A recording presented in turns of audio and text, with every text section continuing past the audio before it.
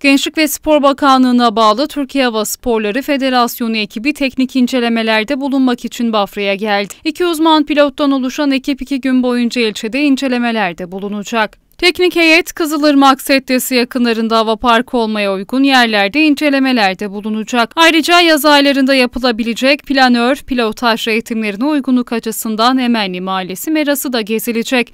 Teknik heyet bu incelemelerin ardından ikinci gün Bafra Kabıkaya ve Derbent Yamaç Paraşütü tepelerinde de inceleme yapılacak.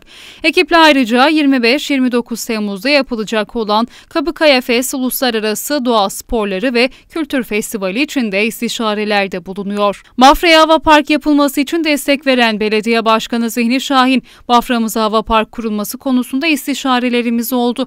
Bu konudaki öneri ve çalışmalarına tam destek veriyorum.